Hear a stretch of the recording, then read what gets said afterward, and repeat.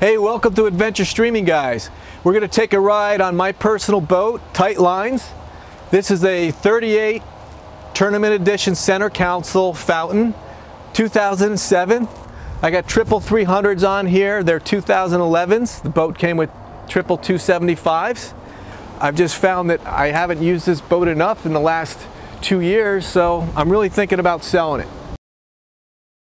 If I do, I'll put a link below in the description. Getting a lot of requests to go out on people's boats and do some shots on it, so it's really interesting. I love doing that. So come aboard and check us out. The boat, it's quasi clean. Remember, it's a 10 year old boat.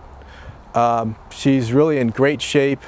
Never had any major issues with it at all. But these 300s, uh, the second set of Verados I've had, they're amazing, very quiet. I mean, all the engines out there are great, but been very happy with the Mercury Verados. And this Fountain, it's a fast boat. Um, with two guys on it, depending on the wind conditions, etc., it'll do 70 miles an hour. She'll cruise, and this is miles per hour. She'll cruise at a one-to-one -one ratio, about 45 to 48 miles an hour. Uh, fast cruise, 48 to 52 you know, she does the mid 60s easy. Now, obviously, we're uh, all loaded up for an offshore trip or whatever with, you know, four or 500 pounds of ice, etc. You know, you're going to degrade your fuel consumption and your speed. It's really hard to complain with this setup for this boat. So under the seat, we have a 40 gallon functional live well. You can control how much water goes in and out of it. I actually have two pumps. I'll show you the bilge. Again, this boat is not completely clean at this point. So all these batteries are new as of two seasons ago. Got a brand new battery charger that I put in there. I don't know if you see that genius. It's all waterproof. I put in there the earlier part of this season. Batteries are within two years old. Let me show you a fish box. So there are four fish boxes. These are pretty big fish boxes. You know, they all have a fish drain that's controlled at the console. Just to kind of show you, it's hard to tell depth on the camera. I mean, I can fit in here. My feet aren't even to the back yet. So, I mean, you can put some big fish in here. so there's four of these.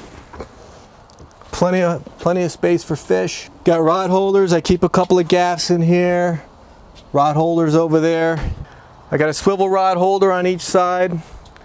They're Lee's. Plenty of rod holders here, rod holders on the back of the seat, rod holders up top. Got the Kingfish rod holders on the side, some rod holders here. So you really have plenty of rod holder space. I also have a, a center outrigger. I got the Taco outriggers. You, you don't have to climb up top. You pull them. You got a little crank, crank it up and down. I think they're 17 or 18 foot aluminum. So the electronics are original, they're all Furuno. They were the best that they had in 2007. And everything's still functional. I got a two kilowatt sonar that they actually had to cut out the step inside the head we'll show you and put it in because they make one from the factory a position holder for the transducer that's only one kilowatt it works really well radar works fantastic autopilot here that's only about four seasons old Got great radios. You know, I got dual so you can switch these back and forth. I got the SmartCraft view here. Takes everything from these gauges and puts them on one view. Got a fusion radio that's set up in the head. This has all been repainted. The gauge holder's been repowder coated. This is powder coated. This has all been redone within the last couple of seasons. This was just done last season. This was done two seasons ago. I keep contemplating whether or not to replace the electronics, but you know what? They work. I don't want to spend a ton of more money on it. Got a new EPIRB that's only uh, two seasons old. The only thing that drives me a little crazy is there's a little corrosion on this throttle control. If I keep the boat, that's the next thing I'll do. That's about it. The seats, these are all original. Seats go up and down. New top. Put your cell phone, this is pretty creative here. Put your cell phones or whatever up here. The top's all new. The T-top's been repainted. Jeremy helped me do that. You know, nothing that's too crazy there that you guys haven't seen. What I like about this top is it's one tone. It's not white on the underneath. It's white on top. It actually helps out a lot with the reflection of the sun. So obviously when the sun hits the white boat, it reflects, and then when you had a white underneath, which was the original top, it reflects quite a bit. I didn't really believe that that was going to be the case, but I've had this now two seasons, and it's a really big difference. And plus, I, I kind of liked it, the way it made the boat look. It was either going to get white, white, or do this, and uh, we took a risk, and I'm in love with it. It's great. Oh, I want to show you these engines. I really, so I do all the maintenance that I can on this boat myself. It takes a lot of time. Um, but I, I work with a guy who does all the mechanical stuff on the engines, Mike Palumbo, offshore Northeast, great guy. Anybody that has a, you know, a go fast boat, uh, center console trips on it, cigarettes, um, go to him and he's, he's very local. And my buddy Jeremy, obviously, he does a lot of electronic stuff and helps out quite a bit.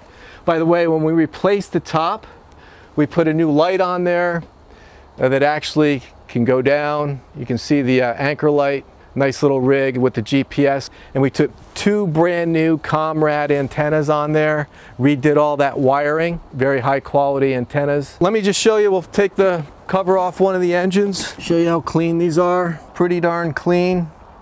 I spray them down a couple times a year, run salt away through them. And then we have a special hose over there, if you can show the connection. Every time we use the boat, we rinse it down. So the head, I don't like to use the toilet. Again, for 10 years old, the head's in good shape. Do a quick check in there. It's got a little pull-out shower handle where the sink is. That head actually pulls out in the shower. There's a little fan, access to your central console wires back there with the trap door do a quick view of downstairs. Tell you, this is really handy on the center console to be able to store your gear. There's storage underneath the seats. Here, I'll walk in here and just do a quick look up. There's lights in here.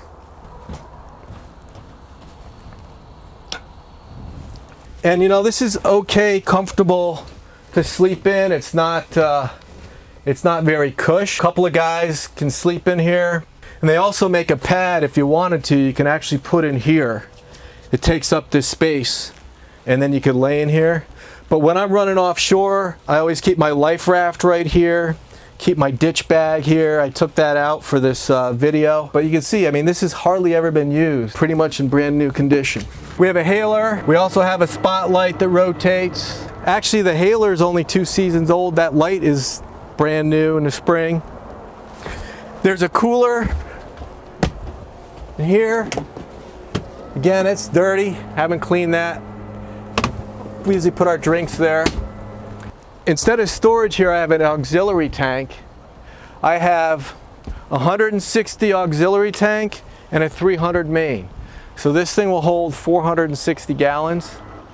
Uh, it has a safe range of, you know, 400 miles. The flow scan is very accurate. I mean, I'm within four to five gallons when I fill up. But when it tells me I burned 202 gallons, you know, I'm putting in, you know, 198 to 204 gallons. It's, it's pretty incredible. There's two pumps, one for the salt water, and there's also a separate pump from the live well. And you can run them separately or you can run them together, meaning there's really a backup pump. All right, we'll start up the engines. All right, port side first. Center, starboard. So these are 2011s. I have 474 hours, 472 on the port and starboard, and only 404 on the center. That's because when I'm trolling offshore, I typically don't leave the center engine on. So here's the system view. I mean, most of you guys know it, but it's pretty cool what you can do with this thing. tells you exactly how each engine's running, you go home and then you can go your trip. I mean, I pretty much use the trip vessel course, but I mean, it has amazing stuff in it. So what I like about this though is it tells me how much fuel I'm using and it tells me at the speed I'm currently going what the actual consumption is. Lights here, red and white. We have courtesy lights that go underneath the gunnels that are actually green. I have green underwater lights that go out behind the engines. Got spreader lights here. All right, let's take it for a ride. All right, so this is your perspective. Pretty good view. I have 39 inch trim tabs on the back, you know, the Mercury racing ones. I usually put it on five. I never slam on to, to get up on plane. I'm pretty smooth with it. It'll, it'll get up on plane really quickly. I bring the tabs up.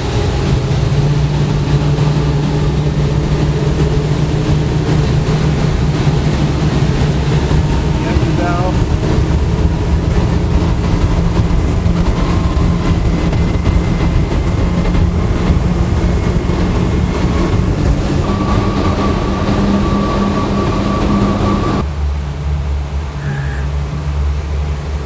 I'll show you how quickly she gets up on plane. I usually don't do this, but got the tabs at five. Got the motors trimmed in. Straighten it out.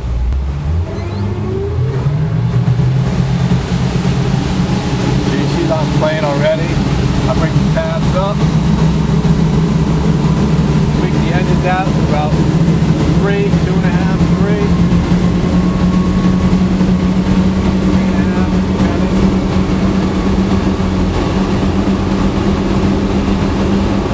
Gotta watch for stuff in the water. But you can tell how it's pretty quiet. We're able to talk. I'm not really yelling. I'm raising my voice just a little. Hope you liked the video with tight lines. And let us know. I'll put the email address down below. Hey, if you guys got some cool boats you want to go do some footage on, send us an email.